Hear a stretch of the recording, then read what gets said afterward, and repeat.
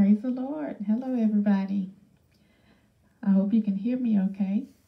I have changed back to my original location, the library, and um, it's good to be back in the library. I love the feeling of being surrounded by books and knowledge. Um, but I hope everybody's been blessed. I hope you're staying dry. it stormed yesterday and rained a little bit today in Alabama, where I am. Uh, uh, we are in Exodus chapters 17 and 18 this week. For people that are just joining us for the first time, we're reading the whole Bible from Genesis to Revelations, a couple of chapters at a time, every Wednesday night at 5 p.m. until the tent revival season is over. Then I'll be back at my regular time, 7:30 p.m. And yes, the tent is up. I'll give info on that during the announcements portion. But for now, I'm going to do a recap. And then uh, you can get your Bibles and read along with me. We uh, last week we were in chapters 15 and 16 of Exodus, where the people of Israel were rejoicing because they had just been rescued from uh, the Red Sea or, or the Reed Sea. Uh, God had made the water stand. They crossed over. So Moses sang a song to the Lord, and Miriam and all the women got their tambourines and sang a song to the Lord. And um, then they moved from um, from Egypt, from the city of Ramses to Sukkot, then from Sukkot to Elim, and then from Elim to Shur, and then from Shur to the, the desert of sin or something like that. Wilderness of sin. and um, that's where we would uh, start this week with. My dog William is in the library with me and he is doing flips and turns on the floor. So that's what that noise is if I seem a little distracted. He is a happy dog, and I'm glad about that. So get your Bibles and get comfortable, get your notebooks and something to drink, and look at Exodus chapter 17 with me in whatever translation you like. And I'll read from King James since that was requested and I'll discuss it with you. I hope William does not walk to my right with all these cords. Okay, so Exodus chapter 17, verse 1. It says, Then all the congregation of the children of Israel moved on from the wilderness of sin by stages, according to the commandment of the Lord, and camped at Rephidim. But there was no water for the people to drink and this has happened before. Last time it happened, I'm tempted to turn my camera to him. last time it happened, um, they were they had waters, but it was bitter. But this time, this says they had no water to drink. Verse 2 Therefore, the people quarreled with Moses. They fought with Moses and said, Give us water so we may.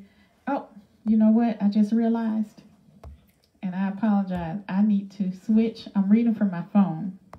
I need to switch to King James. so let me make that switch. Okay. There we go. Now I'll start over with the right translation here. Verse chapter 17, verse 1 of Exodus says, And all the congregation of the children of Israel journeyed from the wilderness of Sin after their journeys according to the commandment of the Lord, and pitched in Rephidim, and there was no water for the people to drink. Wherefore the people did chide with Moses. They fought with him, they argued with him, quarreled to him, and said, Give us water that we may drink. And Moses said unto them, Why chide ye with me? Wherefore do ye tempt the Lord? Saying, Why are you coming to me with this mess? Why are you tempting the Lord? Verse 3 And the people thirsted there for water. They were really thirsty. They're in the desert, in the wilderness, and they're walking. It says, And the people murmured against Moses you know, behind even behind his back, they talked about him and said, Wherefore is this that thou hast brought us up out of Egypt to kill us and our children and our cattle with thirst? He said, Did you bring us from it from Egypt to kill us with thirst and our cattle and children? Verse 4 And Moses cried unto the Lord, saying, What shall I do unto this people? They be almost ready to stone me. So Moses said to God, These people are ready to kill me over this. What should I do, God? Verse 5 And the Lord said unto Moses, Go on before the people, and take with thee of the elders of Israel, and thy rod, and therefore, I mean, and thy rod, wherewith thou smotest the river, take in thine hand and go. So the Lord told Moses, Go in front of the people and take your rod with you, your staff, the same one that you hit the river with, and take it in your hand and go in front of the people. So he did. Verse 6 says, Behold, I will stand before thee there upon the rock in Horeb, and thou shalt smite the rock, and there shall come water out of it, that the people may drink. And and Moses did so in the sight of the elders of the Lord. So this is saying God told him, and look, I will stand in front of you on the mountain in Horeb, Mount Sinai, Mount Horeb. I'll stand on the rock in Horeb. And that and you shall hit this rock. Bam. hit the rock with your, your rod. And there shall come out of this rock that you hit water that the people can drink. And it says Moses um, did did that in front of the elders of Israel. Verse 7 says, And he called the name of the place Massah and Meribah because of the chiding of the children of Israel and because they tempted the Lord, saying, Is the Lord among us or or not? So Massah means to test or testing. And uh, Meribah is tempting the Lord, or questioning, questioning the Lord. So that's why those are called Massah and Meribah, because the children of Israel tested God, saying, Are you really with us? Verse 8 says, Then Amalek, then came Amalek and fought with Israel in Rephidim. So let me remind you who Amalek is. We ran into him in Genesis chapter 36, so it's been a while. Amalek is the grandson of Esau. So it's Esau, Am, uh, Eliphaz, and Amalek. So Eliphaz's son. Um, and remember, Esau is the brother of Jacob, the brother of these people's um, fathers or these people's ancestors. So, really, with Amalek coming to them to fight, this is saying the descendants of Jacob is who Moses and the Israelites are, fought with their brother's descendant, Esau descendant. So it's a family affair here. Uh, the and you know we see Amalek right here himself, but in the future we'll hear of Amalekites, his descendants. So, but eventually they'll be wiped all the way out to the point that today we don't know any Amalekites. We know Israelites, but but that's it. you know, um, Amalekites, no ancient Egyptians. They got wiped out. No Philistines all the people that have come, you know, against the Israelites in the Bible, and God said, I will wipe them out, he did that, and he meant it. So, verse 9 says, And Moses said unto Joshua, who is going to be the second in command to Moses, he said, Choose us out men and go out, fight with Amalek. Tomorrow I will stand on the top of the hill with the rod of God in mine hand. So he said, choose you some men to fight. We finna go to war. And by tomorrow, we'll do this. I'm gonna just, I'm gonna stand above you all with the rod of God in my hand. so God can help us move. Verse 10 says, So Joshua did as Moses had said to him and fought with Amal- Amalek. I'm tempted to say Amalekites. He fought with Amalek. And Moses, Aaron, and Hur went up to the top of the hill. So those are, uh, of course, elders. And Aaron is Moses' brother. So it says, they went up to the top of the hill, like Moses said he would do with his staff. Verse 11 And it came to pass when Moses held up his hand, he held up his hand.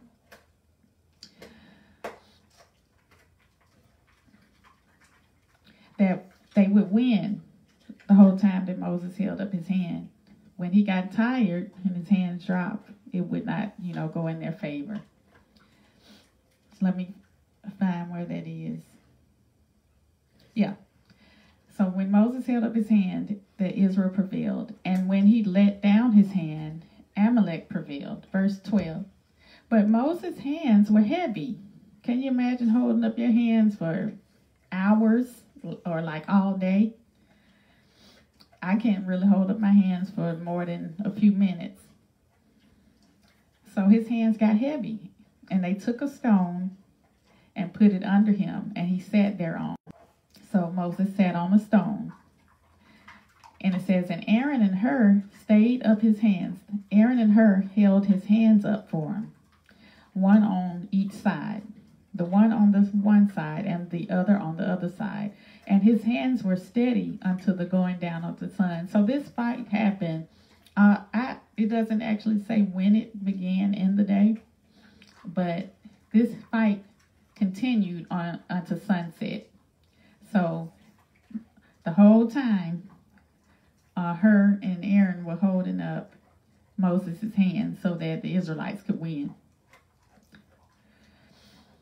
Verse 13 says, And Joshua discomfited Amalek and his people with the edge of the sword. So Joshua, the Israelites prevailed. They won against Amalek. They won by the sword. Verse 14 And the Lord said unto Moses, Write this for a memorial in a book, and rehearse it in the ears of Joshua, for I will utterly put out the remembrance of Amalek from under the heavens. So that's what I said earlier. God had promised to re- remove all ties and blood of Amalek from under the heavens on the earth. So that's why we don't know an Amalekite to this day. Um, but God told Moses to write it down and remind uh, Joshua, because God knew Joshua would be second in command. Moses might not have known it at the time, because that happens way down in at the end of Deuteronomy and beginning of the book of Joshua. So that's like four or five books away. But God knew already. So he said, rehearse it in the ears of Joshua. Verse 15 And Moses built an altar and called the name of it Jehovah Nisi or Yahweh Nisi, which means the Lord is our banner. Verse 16 For he said, Because the Lord hath sworn that the Lord will have war with Amalek from generation to generation. So he said he did that because of what God's promise was that he would wipe the Amalekites out. So he set it up as a memorial. Now we're in chapter 18. 18 verse 1 says, When Jethro, the priest of Midian, Moses' father in law, heard of all that God had done for Moses and for Israel, his people, and that the Lord had brought Israel out of Egypt, then Jethro, Moses' father in law, took Zipporah, Moses' wife, after he had sent her back. So let me just explain this right here because I said some time ago that the Bible can confuse you sometimes because people have nicknames and places have different names, same place but different name for a certain place. So this name Jethro here, this man Jethro is also called Reuel, R E U E L, which means friend of God. Now, I've heard one uh, person, I don't know if it was a biblical scholar or not, because it's been years ago, say that Jethro isn't a name but a title, and Reuel is actually his name. But I don't know if that's true. Jethro could have been his born name, but he could have been renamed Reuel because that was also done in biblical times and in modern times. Like, my name is Dawn India, my first name, but some people call me either or, and some people call me by nicknames. So, uh, they did that then. So you would see one or the other, but that's the same person. Just heads up. That is Moses' father in law, the father of Zipporah. And it says that he and Zipporah and Moses' two sons, well, he sent after uh, Jethro, took Zipporah, Moses' wife, after he had sent her back. Because Zipporah was in Egypt with um, Moses for a while. Then Jethro sent her back to Egypt, took back to Midian, where they're from.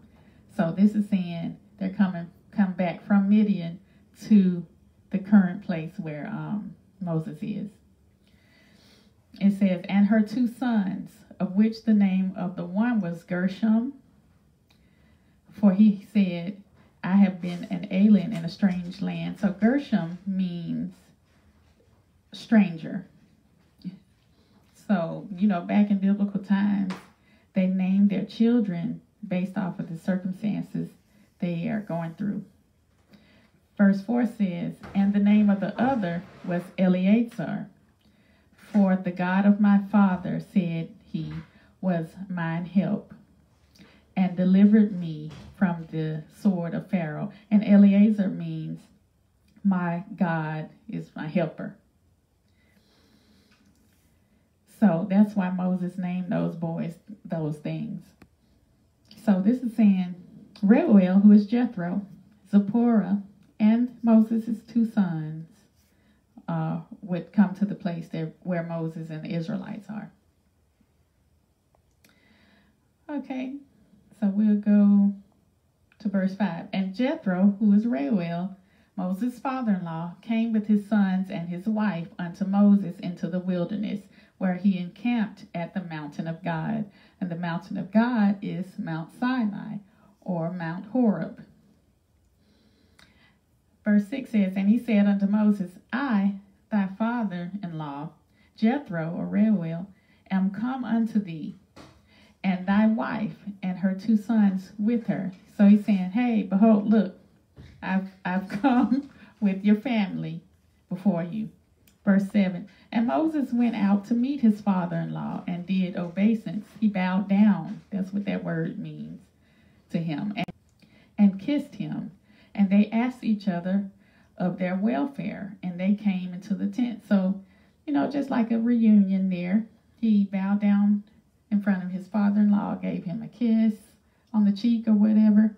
And they they caught up with each other. They did a little catch up, went into the tent and talked verse 8 says, And Moses told his father in law all that the Lord had done unto Pharaoh and to the Egyptians for Israel's sake, and all the travail that had come upon them by the way, and how the Lord delivered him, delivered them.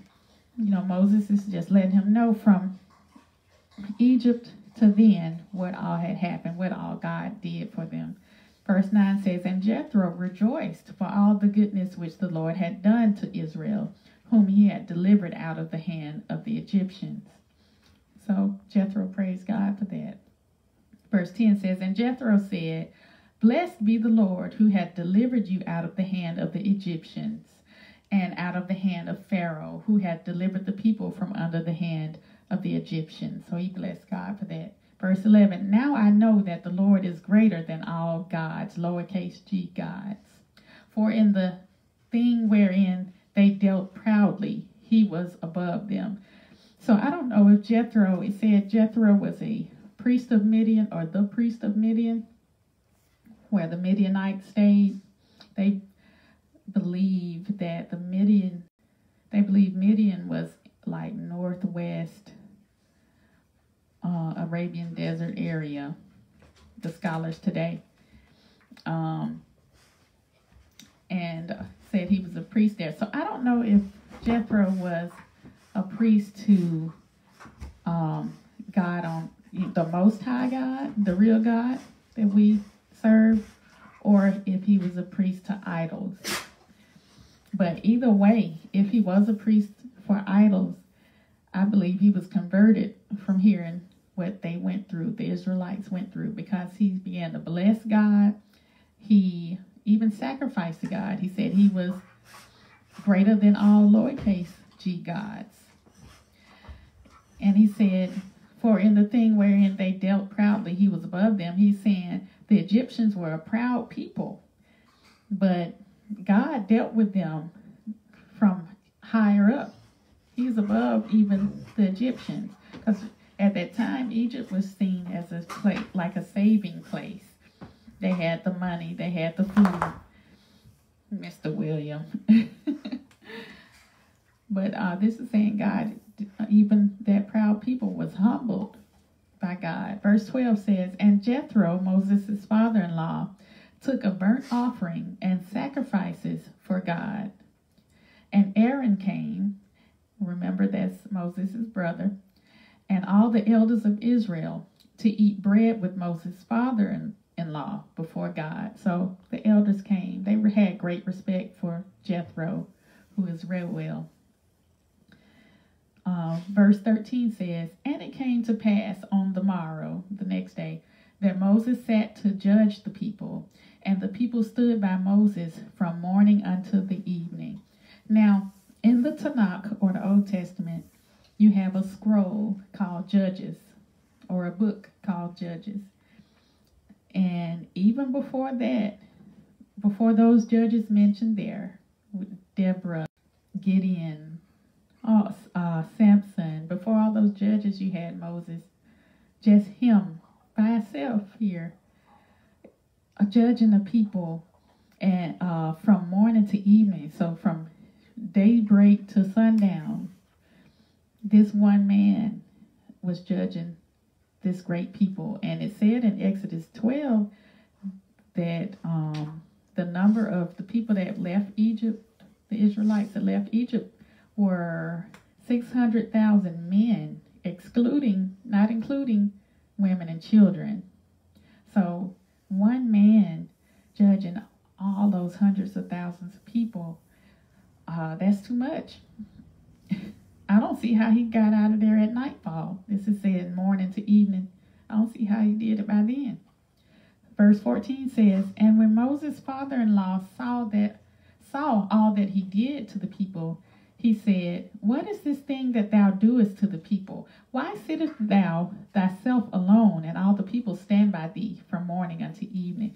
So uh, Jethro is like, Why why are you doing this? why are you working yourself to death and wearing on these people's patience? Because if they're like us in modern times, we don't like to stand on a line for long at all. And these some of these people stand up all day in a line to get to Moses and to get his judgment on an issue that they have and to see what the Lord would want them to do about a certain thing.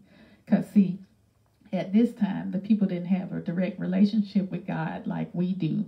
We have an opportunity to actually talk directly to God. We don't need uh, somebody like Moses to come in, talk to God for us.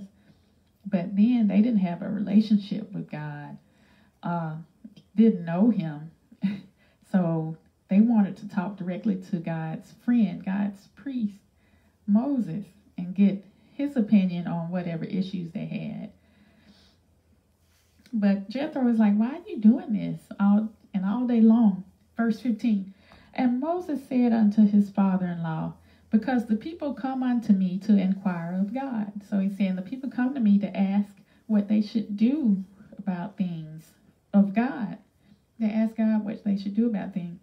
Verse 16 When they have a matter, they come unto me, and I judge between one and another, and I do make them know the statutes of God and his laws. So he's saying, Moses is saying to Jethro, whenever there's an issue that come up, they'll come to me and I'll listen to it, what they're saying, both sides, and I'll make a judgment and let them know what they should do in in keeping the statutes and laws of God. Verse 17 says, And Moses' father in law said unto him, The thing that thou doest is not good. Moses' father in law said, This is not good. Judging is good in this way. The judging that he's talking about in this way, not not what some of us can do, you know, uh, judging, prejudging, prejudice, prejudging somebody, not even knowing what's going on with them. That's not good. But um, what Moses is, is doing, his type of judging is good, but not the way he's doing it. Verse 18 Jethro is still talking to Moses. He says, Thou wilt surely wear away, both thou and this people that is with thee, for this thing is too heavy for thee. Thou art not able to perform it thyself alone. So he's saying, You're going to wear your little self out. And these people, it's the, the matter is too heavy for you. It's too much of a, burden for one man to carry to judge a whole nation this big of people. You can't do this by yourself. Verse 19 Hearken now unto my voice, listen to me. I will give thee counsel, and I'll tell you what to do. And God shall be with thee. Be thou for the people of God word, that thou mayest bring the causes unto God. So he's saying, listen to me, and I and I'll give you a good counsel, tell you what to do, so that at, uh, for these people you can bring uh, causes to God. You can bring the matters up to God. Verse 20, and thou shalt teach them ordinances and laws. So he's saying, teach them the laws of God and ordinance of God, and sh- shalt show them the way wherein they must walk and the work they, they must do. So he's saying, and show them how they should walk before God and the work that they should do. Put it in, in them what to do. Verse 21 Moreover, thou shalt provide out of all the people able men, such as fear God, men of truth, hating covetousness, and place such over them to the to be rulers of thousands and rulers of hundreds, rulers of fifties and rulers of tens. So he's saying, choose some men of renown. Choose some able able-bodied men that fear God men that are truthful and men that won't covet a, a, a thing of somebody else's, that won't look on somebody else's. William! People are items with jealousy. William! Come here. William. Hush. He must hear those. Yeah. you gonna say hey to them? And he said, Make those men be rulers of over thousands, hundreds, fifties, and tens. Break them up in smaller groups. William, stop. Come here. so that you won't wear your little self out. Let me show you William if you, I don't know if I can do it. Say, hey, William since you want to interrupt. Yeah. You want to be disruptive. okay. I think he's going to sit down now. Um, so he's saying, make these men rulers over smaller groups to help you so you won't be overwhelmed. You know, after you have already told taught people the laws and statutes of God, you put that in the people first. Then you put these other um, levels of, in other words, establish a judicial system. So you won't be at it alone. So the heavier matters will go to you, and the lighter matters can go to the men before you. Verse 22 And let them judge the people at all seasons, and it shall be that every great matter they shall bring unto thee, but every small matter they shall judge so shall it be easier for thyself, and thou shalt bear the burden with thee. So that's what I just said earlier. Bring the heavier things to you, Moses, and let them handle the smaller things. And you all can bear, bear this burden together, not just by yourself. Verse 23 If thou shalt do this thing, and God command thee so, then thou shalt be able to endure, and all this people shall also go to their place in peace. So he's saying, if you do this, and if God tells you that this is a good thing to do it, and commands you to do this, then you'll be able to make it. You'll be able to endure, and all the people uh, will have a peace on them. Because right now, folks standing in line from dawn to dusk trying to see this one man. Uh, so it's just too much for them and you. Verse 23 If thou shalt do this thing, okay, verse 24, I'm sorry. So Moses hearkened to the voice of his father in law and did all that he had said. Says so Moses listened to his father in law and did everything he said. That speaks a lot about Moses to me and makes me want to be as humble as he is because we're talking about a man who God stands before. Um, I know that at the cleft in the in Mount Sinai and Mount Horeb, in the cleft of that rock, God told Moses that he can't see his face and live. But God also told uh, another person, I forgot, it, it escapes me right now, that God um, talked to his people in parables and so forth but he talked to Moses face to face. I'm to uh, put that scripture in the comment section because I forgot where it is. But the, Moses is a true friend of God who listens directly to the voice of God. But he is humble enough to listen to this man from Midian who probably was idolatrous, probably wasn't serving God at first he listened to him, and of course, the uh, Jethro told him to run these ideas by God and see if he says the same on it. Then he implements what this man said. So that lets me know no matter how what what position you might be in in God or what titles you might have, you need to not be so high minded that you can't listen to somebody that tries to help you, give you advice on a thing. I, I think someplace in the Bible it said that Moses was the most humble man on earth. I can see that. I can really see that here.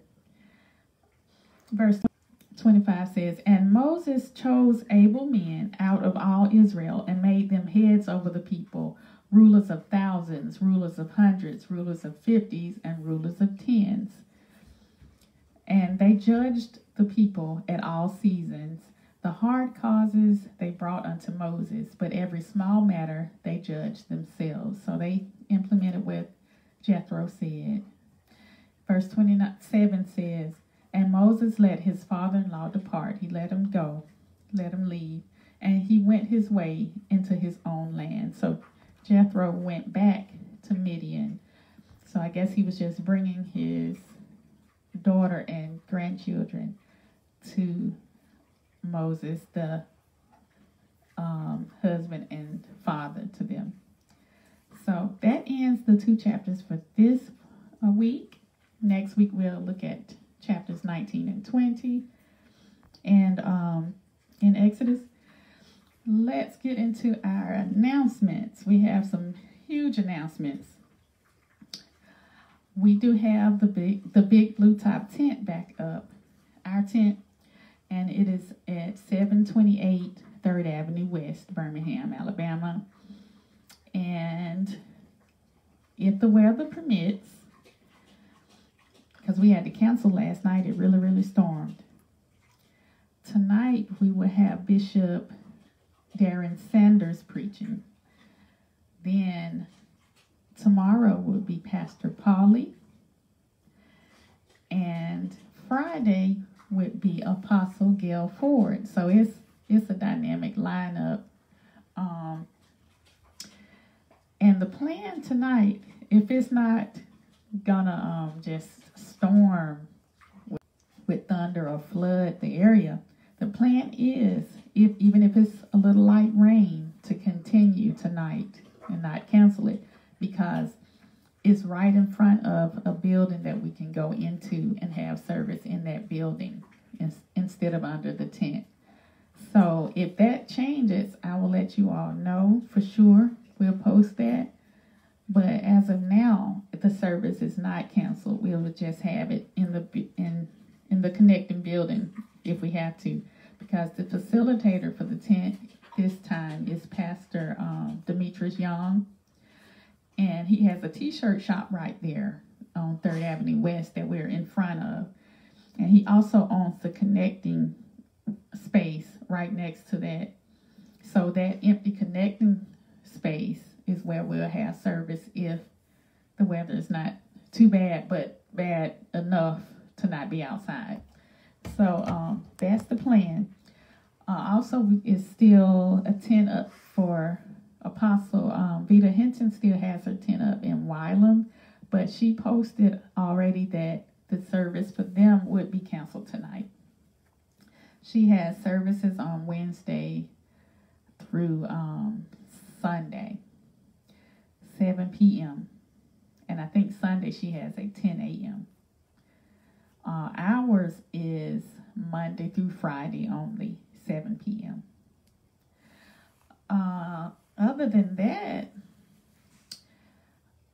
I don't know of any other tents up. so I think that's all the tents. Just stay tuned for a weather update or whatever um, kind of update we'll have, whether it be in that building or not. If we do have service, I am going to be cooking some fried fish some french fries and sodas. So come prepared for that if we do have service. Um, other than that, I want to start doing birthday shout outs every month. So, everybody for the month of October that had a birthday, happy birthday to you. I did notice today exactly that um, Isaiah Radcliffe's birthday was today. And I just want to give him a birthday shout out live because he I'm so appreciative of what he does for our ministry and for multiple ministries. I know he's at Greater Emmanuel Temple um, as their organist, but he also has touched so many lives and ministries by playing uh, for them at their different engagements and whatever. So we want to give him love. Um, another man in that same spirit is Greg Brown uh, also an organist who's touched a lot of people. Um, his birthday was two days ago. So they both have that same anointing, and that's something that they were born that close to each other. I don't know if they know each other or not, but I, I know Greg Brown used to be the uh, organist at um, New Macedonia Baptist Church. Now it's Greater New Macedonia Ministries. Um, but he has uh, moved from New Macedonia, but that's where I knew him from. But happy birthday to everybody born in October. I don't want to miss anybody. You all are equally important and equally loved by God. Um, now we'll move on. Let's note the other announcements. I apologize, Mom. of course, meet me every Wednesday night at 5 during tent revival season. But my mom, Overseer Mylan Hudson, every Friday night does Bible study, 7.30 p.m. Central. But this Friday, since we have the tent up, and next Friday, she may not be having a Bible study because she hasn't changed her time like I did. I'm trying to beat her. so I changed my time so I won't miss any Bible studies but um, she's going from Revelation to Genesis, and she is all the way up in I want to say Second Timothy already, because the New Testament scrolls, the New Testament books are shorter than the Old Testament, so it's like I've been in Genesis forever, and I'm gonna be in Exodus a while, but she's moving book, book, book, book. so that's why I say I'm trying to beat her in a race. But um, join her Friday nights and I mean, it's always very, very much a blessing. Anytime the word is being read, even if nobody expounds on it like we try to do. Just the bare bones word is a blessing to me and to you, whether you know it or not. Your spirit takes that in. So um, join her then. Sunday nights is our regular service time, 7:30 p.m. in the sanctuary. You would have Bishop D.E. Hudson, our pastor, bringing the word of God. You have um, Minister Dudley on the Dudley on the piano. Um, Sister Lisa Rory usually doing the praise and worship, reading scripture, prayer, and her sons, um, the Rory brothers is what I call them, are on percussion, and we're just so thankful for them. Uh, every Sunday night, 7:30 p.m. Tune in. We have different platforms. We don't just have Facebook anymore. Um, we have also YouTube, which is getting um, more recognized because there's a lot of people that are not on Facebook that want to see service. So we'll just share the YouTube with them. I have put all that information in my post here. So you can scroll up and get the names of the Instagram, Twitter, YouTube sites, get our email down to communicate with us. Our um, Facebook page has our phone number if you want to call and get prayer. Um, you can do that. Or if you are local and have our actual numbers and addresses or whatever, or DM, whatever you want to do, contact us. Leave us a comment or however way you want to reach us saying that you want prayer, you want, you know, help with something. That's what ministry is about. Um, helping, tending to the sheep is what the analogy that's used in the uh, in the Bible. You have the shepherd who is Jesus, and you have a sheep who is all of us, and you have people that are supposed to tend to the sheep for Him, and those are the people that are in ministry. So we hope to do that, uh, whether or not you belong to our congregation or not. That doesn't matter, because uh, we're all under one, one God, one Lord, one baptism. So um, I think that actually does conclude the announcements. We'll move into the prayer portion. And then uh, hopefully I'll see you sometime this week under the tent. Father God, I thank you for every single person that's watching this. I hope that it can touch souls continually, not just on this live video, but for everyone that clicks on in the future through Facebook or YouTube or whatever platform uh, that they'll be blessed time and time again by your word. Um, I thank you for using us to tend to your people.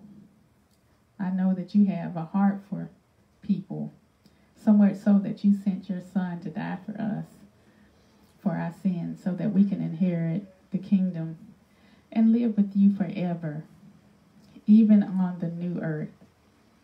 When you descend down and bring down a new Jerusalem, the goal is to be with you with no more limits, no flesh getting in the way, no sin. Back to the relationship we had in the garden, but even better, because you'll actually live with us. So, uh, thank you for using us to help you get towards your goal. I ask you to meet every need of the people, spoken and unspoken, uh, to us. Uh, we pray protection over everybody during this season where we have had a lot of bad news. Bring joy uh, to the and comfort to people that are bereaved. Bring uh, blessings. Bring beauty in place of these ashes that we've been having in recent times. And we ask you for these and all other blessings you have in store for us to be released. In the name of Jesus, we pray. Amen. All right, you all stay safe. I hear thunder and some rain, so stay tuned for uh, update about the tent revival. All right, love you all.